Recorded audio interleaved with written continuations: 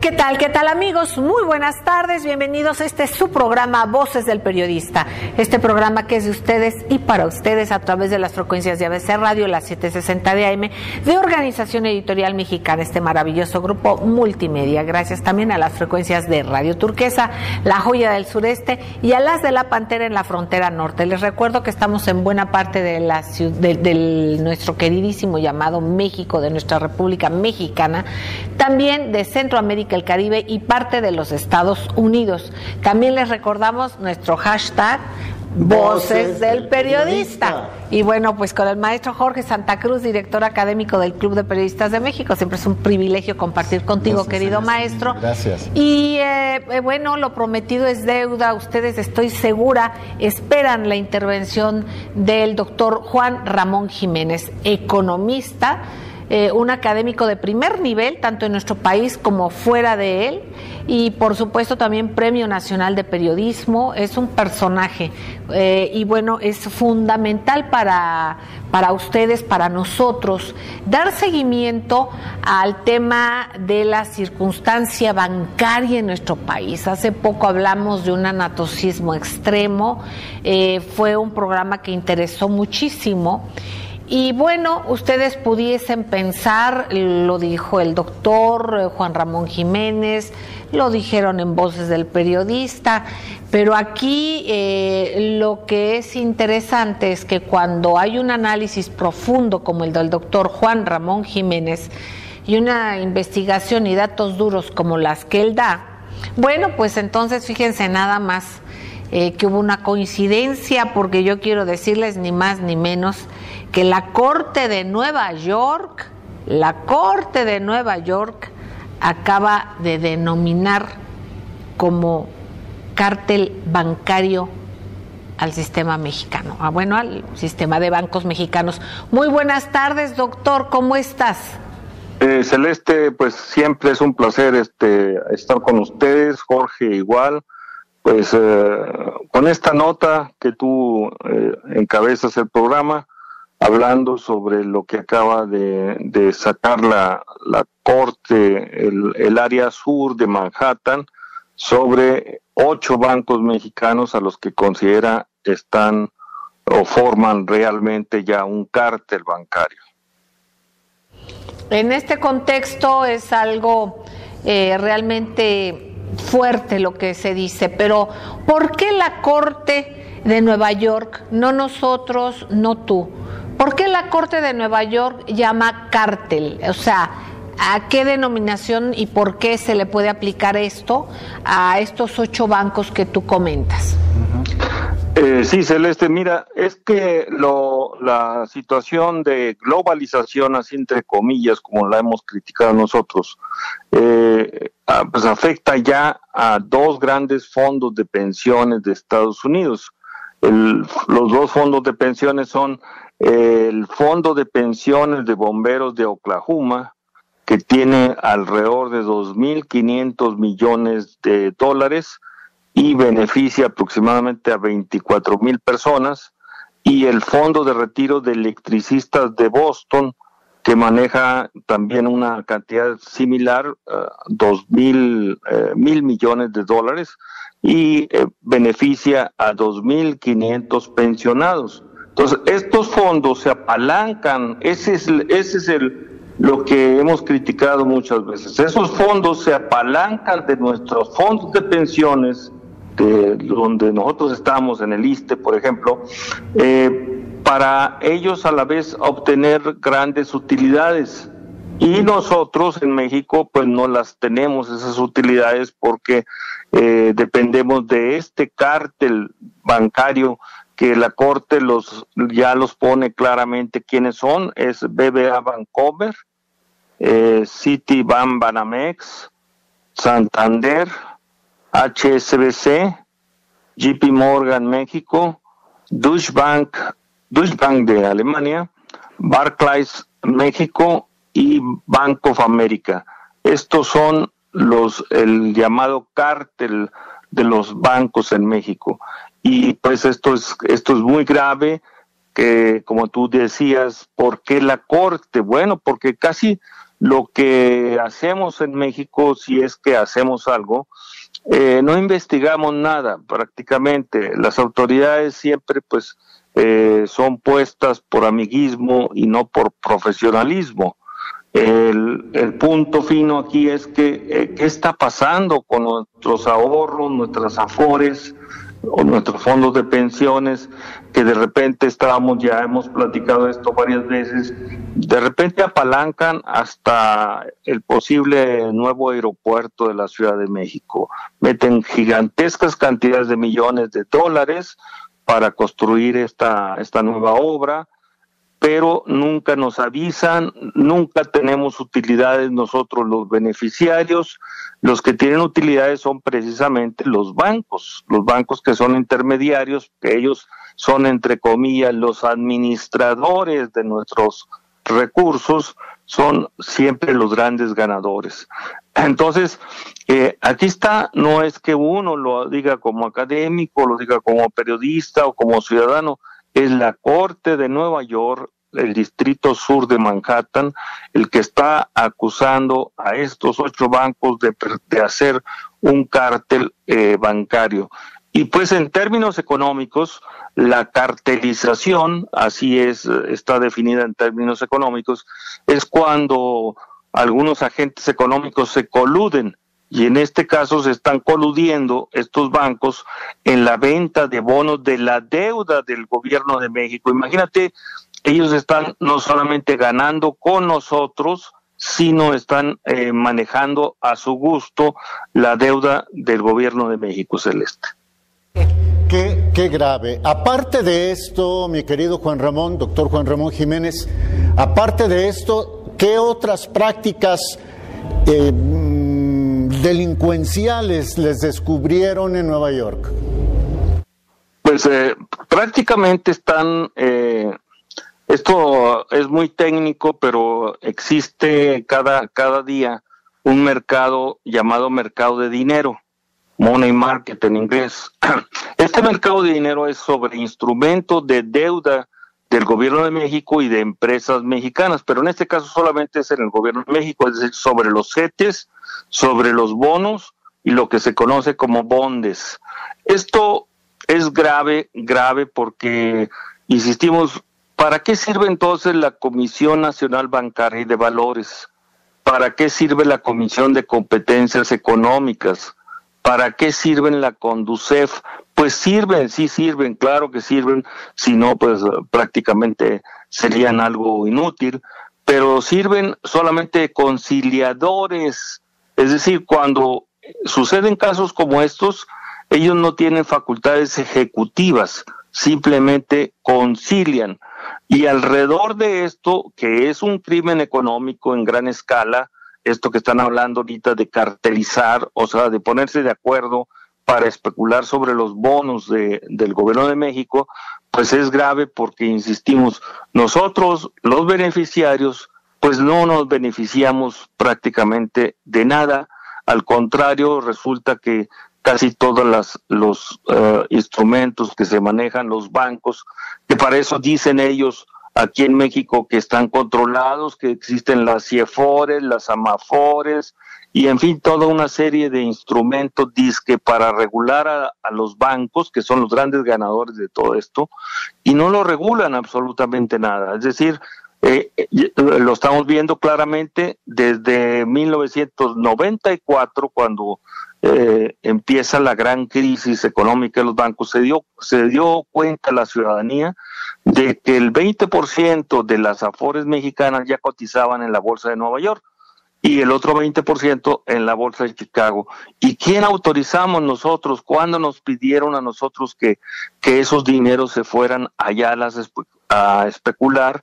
Y sobre todo, eh, nunca, nos, nunca nos informan quiénes están manejando nuestros dineros, eh, cuánto eh, de ese dinero está en peligro o ya se esfumó, eh, cuánto de ese dinero se pagó, en qué tipo de cambio, en qué tasas de interés, etcétera, etcétera. O sea, lo que pudiéramos nosotros hacer una investigación a fondo sobre eso, hay una cero transparencia celeste.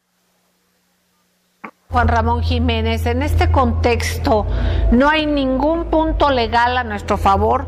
Tú hablas de que se, se, cotiza, se dispone de las afores, se dispone de los instrumentos del ahorro y eh, no hay algo que digamos se tenga eh, legalmente y con una eh, consistencia tal que se pueda reclamar realmente para beneficio de quien aporta el capital, de quien está aportando ese dinero, que son las, los fondos de pensiones, doctor? Pues desafortunadamente no hay, no hay, porque yo recuerdo, te estoy hablando más o menos hace como unos uh, unos 10 años, que estábamos un día, eh, licenciado Humberto Hernández Haddad y tu servidor, estábamos almorzando en el sur de la Ciudad de México y en eso llega uno de los líderes obreros y nos pregunta, ¿y ustedes que estuvieron en el exterior, por qué nunca ayudan a los trabajadores a quitarse encima a estos bancos? O sea, un reclamo eh, que no tenía nada que ver con lo que estábamos nosotros este, platicando, pero que tenía justa razón de que pues no hay no hay quien los defienda a los fondos, a los trabajadores en este caso. En este contexto, queridos amigos, y antes de irnos al corte, queremos dejarles con la reflexión, ¿qué sistema legislativo tenemos, Jorge, doctor querido, que no han tenido en cuenta esto? que no investigan esto. Si su servidora, que no soy economista, ni nada que se le parezca, que tengo mis conocimientos hasta cierto punto limitados, pregunto por esto, que no hay especialistas que hayan eh, sabido de esto, que conozcan de esto y que exijan que se proteja a los ahorradores mexicanos. Es increíble, Jorge. Lo que pasa, Celeste, Juan Ramón, amigos, es que los legisladores, por un lado, se someten al Ejecutivo y el Ejecutivo tiene compromisos externos. Y por el otro lado, quienes tienen compromisos con el Ejecutivo mandan a sus cabilderos y someten a los legisladores. Y por otra parte, queridos amigos, ¿cuál independencia de poderes? Y no es el que el Ejecutivo y se subordinen al Ejecutivo, se subordinan porque quieren hacerlo, porque les conviene hacerlo, porque también hay otro tipo de leyes como la de biodiversidad, el intento de privatización del agua y otros más que los hacen grupos económicos de poder. Vamos a ir un corte y enseguida regresamos. Gracias. Gracias queridos amigos, gracias por seguir con nosotros a través de las frecuencias de ABC Radio, la 760 de AM de Organización Editorial Mexicana, del Gran Grupo Radio Turquesa y de las frecuencias de La Pantera. Queridos amigos, eh, nuestro querido maestro Jorge Santa Cruz eh, se retiró eh, por algunos asuntos precisamente de índole académico. Pero continuamos con el doctor Juan Ramón Jiménez, eh, Premio Nacional de Periodismo, economista y parte fundamental tanto de Voces del Periodista como de, nuestro querido Club de Periodistas y de la Fundación Antonio Sáenz de Mirafia y tal. Querido doctor eh, Juan Ramón Jiménez, hablábamos de que la Corte de Nueva York denominó como un cártel bancario a ocho bancos específicamente que están en México. Tú nos dijiste sus nombres y básicamente pues son bancos que no son mexicanos, curiosamente son bancos que no son mexicanos, si estoy equivocada dímelo. Y por otra parte también eh, te preguntaba yo antes de irnos al corte, si es que nosotros eh, podemos hacer algo, eh, debemos, se debe hacer algo, pero digamos, ¿cómo podemos impactar tanto desde la ciudadanía, presionar a legisladores? ¿Cuál es el conducto para que realmente se pueda hacer algo? Para que no estemos en indefensión poniendo el dinero de los trabajadores, de los ahorradores, de quien sea. El chiste es que se toma el dinero como si fuera personal de los bancos, no se toma a consideración, no se consulta, sino simplemente se toma el dinero y de las ganancias pues no se ve nada más que básicamente el servicio que se dan de este eh, pues jineteo del dinero, no hay de otra, porque al ahorrador le cuesta muy caro el servicio de un banco, que es eh, inversamente proporcional, o sea, es desproporcionado, el, costo que es eh, en cuanto al pago que se le da a quien deposita su dinero en un banco, como eh, lo que el banco cobra por prestar a quienes lo solicitan a estas instancias. Querido doctor, te escuchamos. Sí, Celeste, bien. Primero, la primera parte que tú comentabas, los bancos exactamente no son mexicanos. Eh, BBA Bancomer es de España, Citibank Banamex, pues es eh, prácticamente Estados Unidos, Santander también es España, HSBC, pues eh, Gran, Gran, Bretaña, JP Morgan es Estados Unidos, Deutsche Bank, pues alemán, Barclays es Inglaterra y Bank of America, pues Estados Unidos. O sea, eh, prácticamente eh, nosotros desde la crisis de 94 perdimos el sistema de pagos nacionales, eh, perdimos en el sentido de México. México como país es eh, prácticamente uno de los pocos países, al menos que yo recuerde, eh, no hay otro eh, equiparable en el, en el mundo en el mundo occidental moderno, eh, similar a México, un país tan grande como nuestro, que haya perdido su sistema de pagos. Es decir, que, sí, que, que, los bancos se hayan entregado a los bancos internacionales. Sí, Esa es la palabra. Nosotros no lo perdimos, nos lo robaron quiénes y cuándo. Vamos a recapitular, perdón doctor, porque es tan interesante lo que nos comentas, nos lo dijiste hace un rato, pero para dejarlo muy en claro, no lo perdimos, no es algo que de repente se nos cayó, íbamos caminando y dónde se perdió, dónde voló, sopló el viento, ¿qué fue lo que pasó? El, el, el, problema se origina con la, con la llamada crisis de 1994 el famoso error de diciembre de 1994, cuando Carlos Salinas salía de la presidencia y entraba Ernesto Cedillo. Eh, al entrar Ernesto Cedillo se encuentra que el país está totalmente saqueado, que no existe ni siquiera, nos toca vivir a nosotros ese, ese, ese caso, no existían ni siquiera computadoras, no existían escritorios, no existían cables de teléfono, eh, se robaron todo, absolutamente todo. Eh, se, llevaron la partida secreta, se llevaron los 20 mil millones de dólares que había de la venta de 1.200 empresas estatales, paraestatales y de participación estatal. Eh, en fin, fue un saqueo absoluto del señor Carlos Salinas y deja al país eh, prácticamente de rodillas.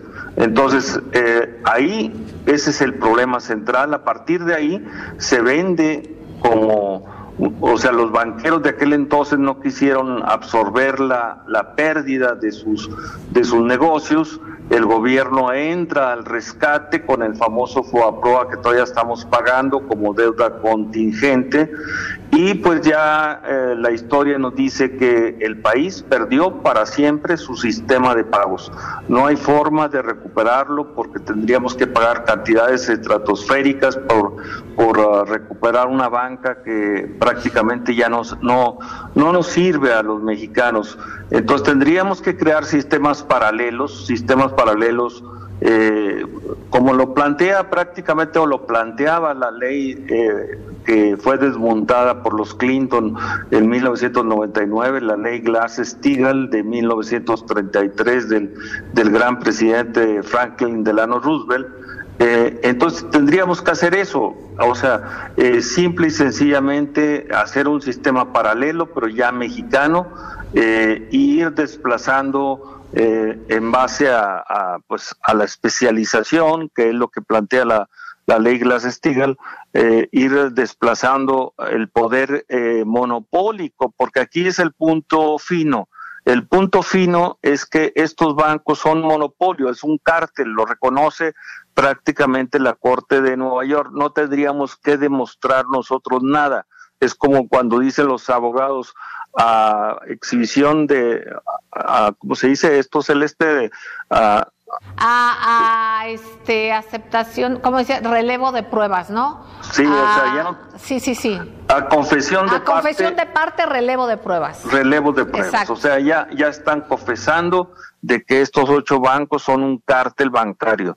Entonces, ¿qué es lo que tendríamos que hacer? Pues aplicar la ley en México. ¿Cuál ley?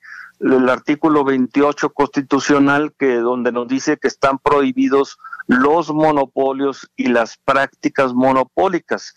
Entonces aquí está prácticamente acusando a los banqueros, a los bancos de monopolios y aquí está la práctica monopólica, es decir, están especulando sobre la venta de bonos de deuda del gobierno de México. Entonces está, está más que claro el punto de que deberíamos de hacer un llamado a los candidatos presidenciales a que de verdad toquen los temas medulares del país como es este, que está saliendo como un gran escándalo en los Estados Unidos y aquí en México apenas son unas cuantas columnas que dedican los periódicos a, a analizar este, este caso. Pero yo digo que es prácticamente el artículo 28 constitucional que nos permitiría especial, o sea, obligar a los bancos a que se especialicen, o sea, aplicar la ley Glass-Steagall en México, eh, llamándole de cualquier otra forma, pero aplicando eh, con todo rigor el, el artículo 28 constitucional. Que hago una pequeña aclaración, no siendo abogado, sí hemos discutido estos temas en un grupo que tuvimos que tú conoces, este Constitución y República del licenciado Fausto Cantú, en donde iban los mejores especialistas como abogados, economistas, etcétera, a platicarnos de estos temas. Uno de estos temas es que el 28 constitucional no tiene ley reglamentaria desde 1917, es decir, hace 100 años que no tiene ley reglamentaria. ¿Por qué el Congreso de la Nación no reglamenta, o sea, hace una ley secundaria a este, este poderoso artículo 28 constitucional?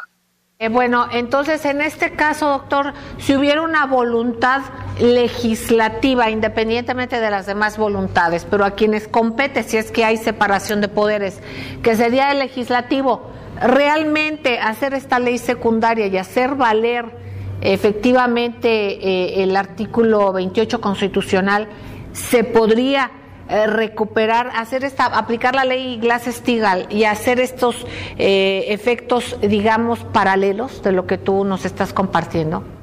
Sí, Celeste, porque mira, el problema central es lo que se conoce en términos bancarios como la banca múltiple. Quiere decir que tú tienes un banco aquí en México, pero el banco puede especular en bolsa, eh, tener en venta departamentos, o sea, vender automóviles, eh, vender condominios, vender playas, vender turismo, y sobre todo apalancarse con las afores mexicanas, los fondos de pensiones. Ya los bancos no tienen lo que tenían en los años 70, que, o sea, crear su propio fondo de apalancamiento. Apalancamiento significa que, que, yo me estoy utilizando algo para generar mi propio negocio pero antes en los años 70 tenían que competir ellos por su apalancamiento y ahora en los años actuales simplemente el apalancamiento que tienen es que son los fondos de pensiones que el gobierno eh, federal les entregó a partir de la crisis de 1994. Entonces aquí habría un absoluto y total culpable que es Carlos Salinas de Gortari. Y segundo lugar, que el, tema sería aplicar con todo rigor la ley y hacerlos cada uno hacer, o sea, de, de acabar con el monopolio, acabar con la banca múltiple y entrar con la banca especializada. Quiere decir que abrir una empresa que se dedicara a exclusivamente administrar los fondos de pensiones, abrir otra empresa para préstamos bancarios, abrir eh, otra empresa para factoraje, en fin, eh, o sea, empresas especializadas que no dependan de los bancos, que sean independientes de los bancos, porque de lo contrario le volverías a dar poder a los bancos. Exactamente. pues queridos amigos, vamos a ir un corte, regresamos con el doctor Juan Ramón Jiménez y imagínense nada más ¿Quiénes están apalancando a los bancos, a los negocios de los bancos? Cuando una persona quiere poner una tienda, ahorra y junta dinerito para comprar, si es una tienda de abarrotes, pues su mercancía, este, ellos mismos ven cómo le hacen, o si piden un préstamo lo tienen que pagar y con unos intereses altísimos.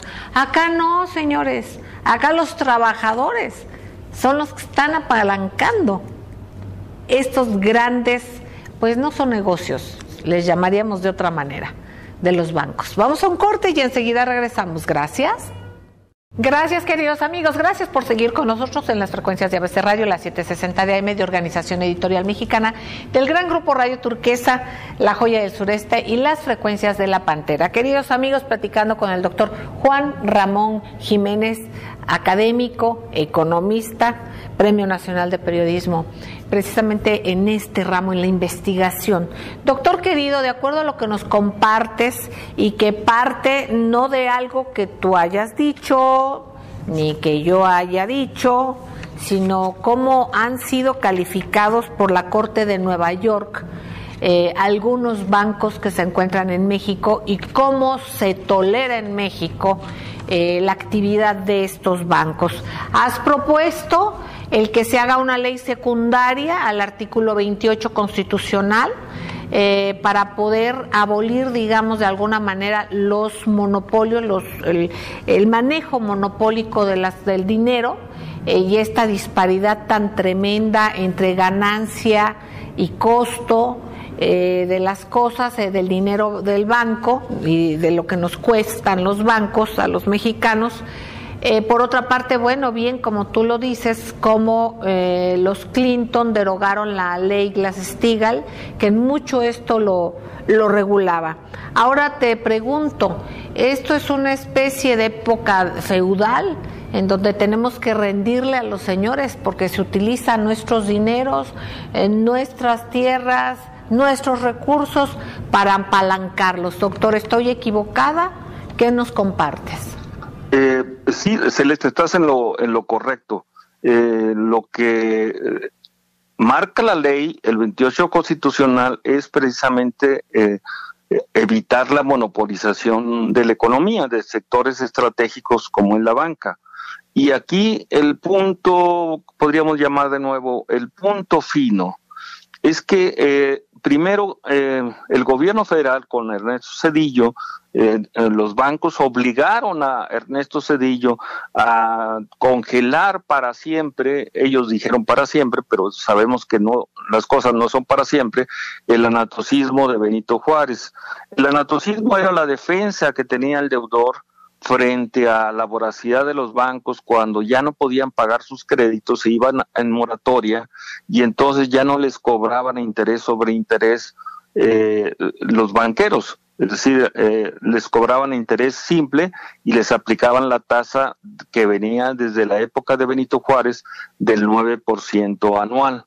El otro punto fino es la ley ya promulgada, simplemente que el, Congreso Federal se ha hecho, eh, ha volteado la vista para otro lado, pero ya es una ley promulgada el 16 de septiembre de 1916 con Venustiano Carranza que le ponía un techo a, a, las tasas de interés activas, o sea, a lo que nos cobran los bancos, de ese techo de 20%, lo comentábamos en el programa anterior.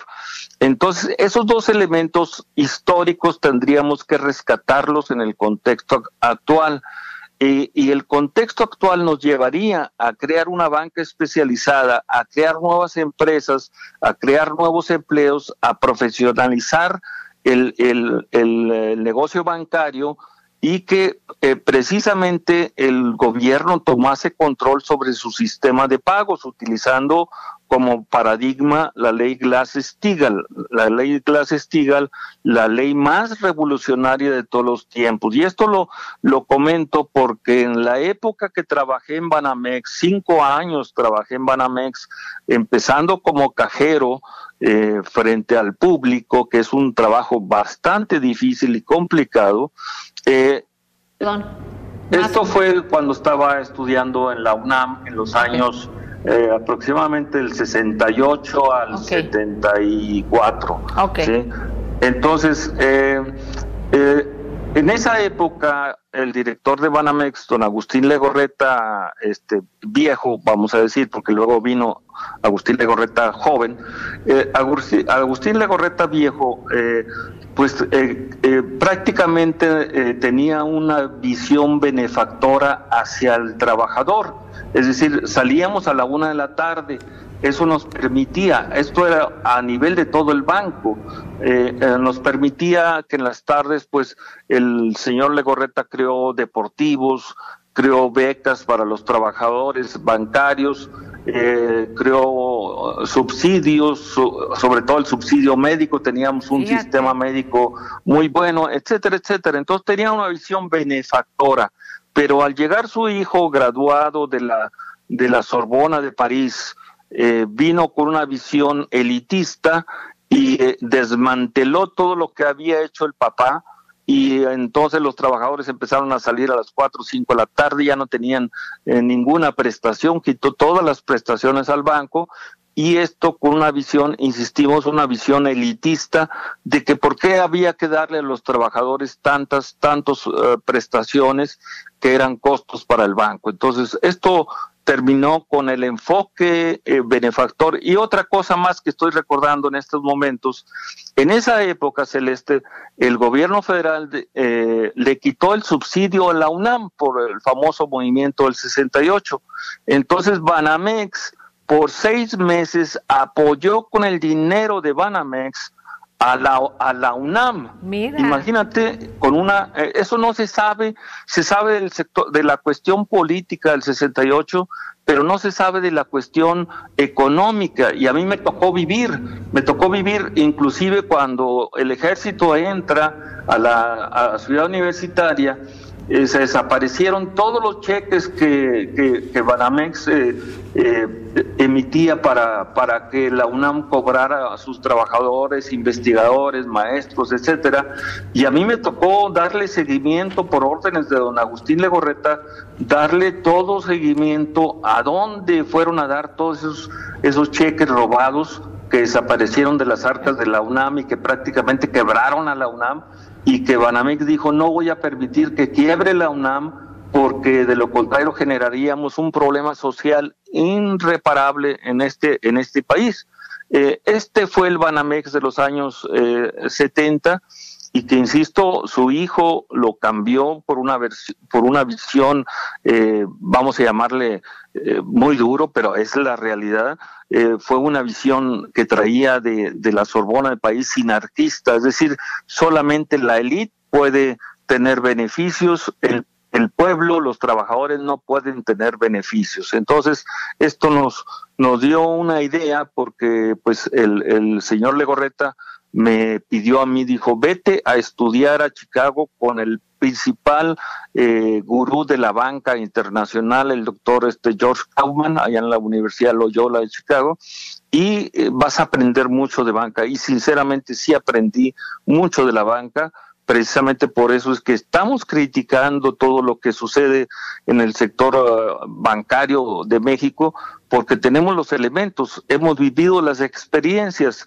hemos tenido gente que sí eh, apoyó al, al, crecimiento del país, al desarrollo del país, y ahora lo que tenemos es lo contrario, totalmente lo contrario. Entonces, para no caer en cuestiones personalistas, la ley, solamente la ley, el artículo 28 constitucional es el único que nos puede sacar del hoyo que nos están metiendo los banqueros, no solamente con este que ya los acusan de, de, cártel, sino de toda la usura que han hecho, del lavado de dinero. Eh, son famosas las filtraciones de que lo hemos platicado en tu programa de las filtraciones de HSBC en Suiza, donde ponen, exhiben a toda la clase empresarial mexicana como evasora de impuestos. Entonces todo eso tiene que ser castigado y tiene que ser castigado con la ley, no con ideas personales, no con ideas de grupos, de partidos, etcétera, sino con la ley en la mano. Exacta, exactamente. Eh, pues esto que nos dices es importantísimo. Fíjense amigos cómo hay empresarios mexicanos que verdaderamente son empresarios o pueden ser empresarios, sobre todo en esa época eh, de, en la que se tenía esta visión de crecimiento de México, de nacionalismo, de amor a México. Aquí no se trata de estigmatizar a nadie por su condición social, ni porque tengan mucho ni porque tengan poco. Claro que cuando ya es más que mucho y es una exacerbación y es algo que violenta el derecho de los demás, es lo único que nosotros cuestionamos. No cuestionamos, al contrario, admiramos eh, casos como el de don Agustín Legorreta, abuelo vendría siendo, ¿no? Quien estuvo al frente. Yo le, yo le llamo el viejo y el joven. El viejo y el Sí. joven, bueno, eh, quien en los años 70, 60 y 70 estaba al frente de Banamex. Vemos que hay una diferencia muy grande. Aquí se trata de que se gane para todos, de que ganen los bancos, tienen una función, deberían de tener una función social. Aquí está desaparecida. Lo dice precisamente la Corte de Nueva York, no lo decimos nosotros. Eh, y en este caso, pues ellos actúan. Pero ¿qué pasa con quienes les permiten que nuestro país actúen así? Porque no actúan así en otros países, ¿eh? Actúan así en México porque así les han permitido. ¿Ahí tienes referencia de que en algún otro país actúen como en México, doctor? Antes de irnos al corte. No, Celeste, fíjate que somos probablemente el ejemplo de lo que no se debe hacer con el sector bancario. Queridos amigos, vamos a un corte y enseguida regresamos. Gracias. Gracias, queridos amigos. Gracias por seguir en ABC Radio, la 760 de AM de Organización Editorial Mexicana, del gran grupo Radio Turquesa, La Joya del Sureste y en las de La Pantera. Queridos amigos, charlando con el doctor eh, Juan Ramón Jiménez, economista, Premio Nacional de Periodismo. Ustedes ya lo han escuchado, pero además escuchan su análisis profundo. A mí me queda eh, un sabor de boca agridulce. Agridulce en qué sentido? Que nos vamos dando cuenta en lo amargo, en lo actual, en lo ácido, de ese desprendimiento absoluto de vocación que, a la que se deben legisladores mexicanos, los políticos mexicanos, un gran número, no todos, pero una buena parte. Y por otra parte también eh, eh, como eh, buenos y verdaderos emprendedores, como pueden ser eh, y como lo fue don Agustín Legorreta, el viejo, como le llama el doctor Juan Ramón Jiménez, eh, que, está, que estuvo al frente de Banamex por los años 60 y 70, eh, puede y vio un beneficio general, un beneficio multidimensional, un beneficio para México, un beneficio para el banco, un beneficio para sus trabajadores. Y aquí es cuando nos centramos y debemos centrarnos en pensar que el beneficio no solamente es económico, es lo que nos han hecho creer. Decimos beneficios y la gente piensa inmediatamente en recursos. Démonos cuenta este señor, Agustín, este, Agustín Legorreta, cómo tenía cantidad de beneficios, además de lo justo, de lo económico, de satisfacciones. ¿Cuántas gentes le recuerdan con cariño, le recuerdan con gratitud? ¿Cuánta infraestructura dejó hecha él? Eh, Nos lo comenta el doctor Juan Ramón Jiménez. ¿Y qué pasa? Viene alguien educado fuera, con otro concepto, qué pena que haya sido la moneda, el lado de la moneda contraria a su padre, al llegar a creer que los beneficios económicos solamente es de los dueños, de los poderosos, y no darse cuenta que el beneficio es mucho más allá del dinero.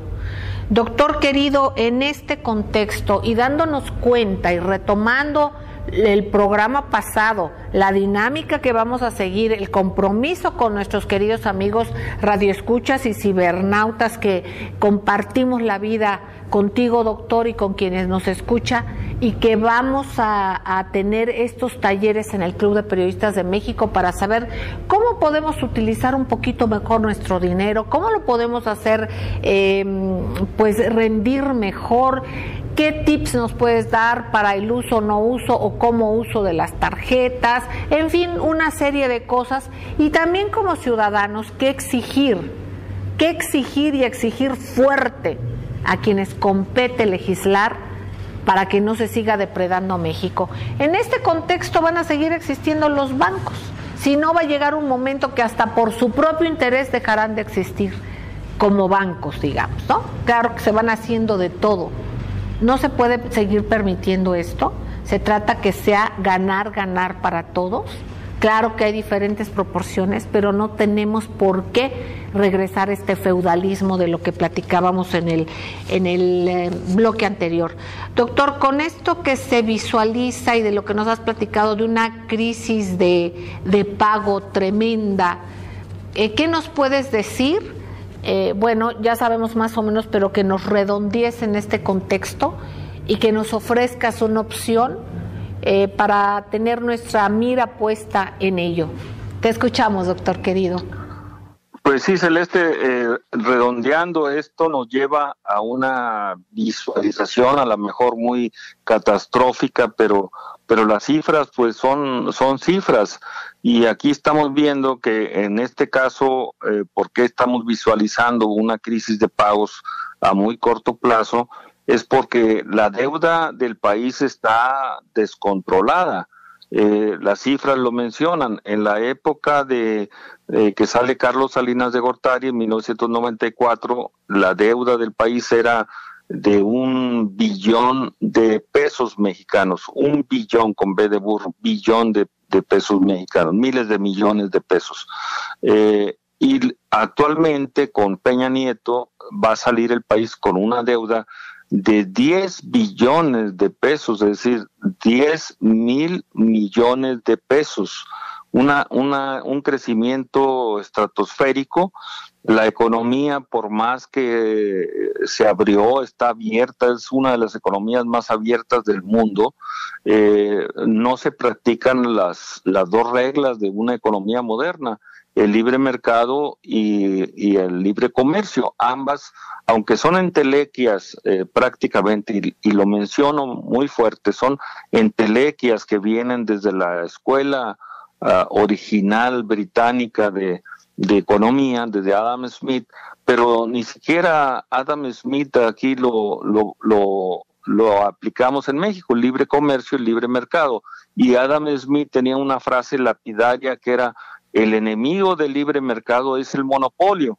Y entonces nosotros aquí en México toleramos todas las prácticas monopólicas, nos quejamos de que la inflación, que los productos no tienen la calidad deseada, etcétera, pero todo viene a, base de la monopolización de la economía.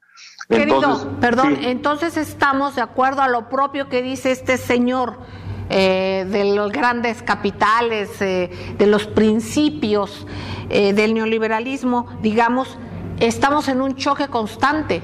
Porque por una parte está el libre mercado y por otra parte están los monopolios. Aquí en México estamos aplicando una fuerza totalmente contraria, o sea, se están contrapunteando las dos, ¿no? Sí, sí, exactamente, porque como lo mencionaba el presidente Roosevelt en, en aquellos años, cuando estalló la Gran Depresión y que millones y millones de gentes eh, perdieron sus empleos, decía, sí, existe el libre mercado, pero el Estado es el que debe regular precisamente cuando el, el, libre mercado falla.